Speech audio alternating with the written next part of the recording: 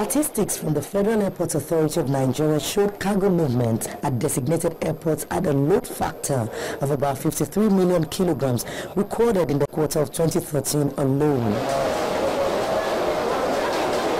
This is a 20% increase over the same period in 2012, with the Murtala Mohammed International Airport cargo section recording a large amount of the total volume.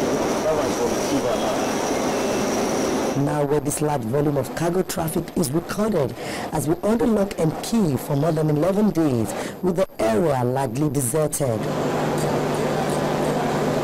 No thanks to an assault on the customs area controller, Taju Olanrewaju, who claims that this happened in the course of an attempt to ensure that things are done in an orderly manner.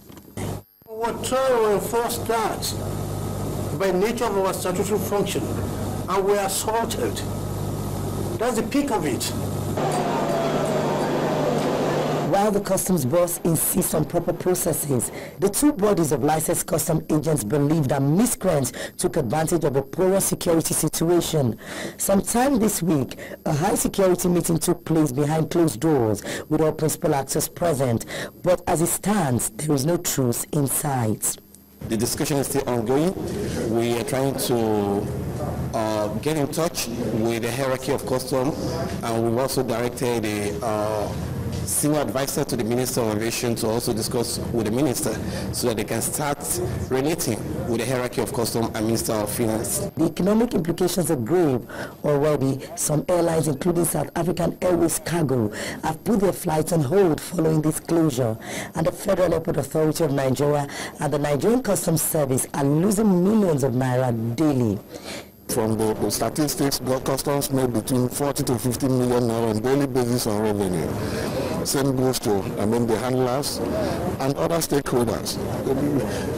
When one is suffering, it affects the others. It affects the others. We are really, we are really appealing to government as a matter of necessity because this is becoming a national issue. It is becoming a national problem.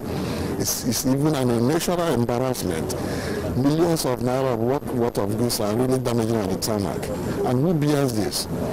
And we can equally think about the demurrage that is uh, agreed to all these days that we have been on, on, on this sit, down, sit tight. With this ongoing crisis, all parties are affected, and the earlier this issue is resolved, the better for the economy. Bukola Joe Kitumbi, Channels Television News.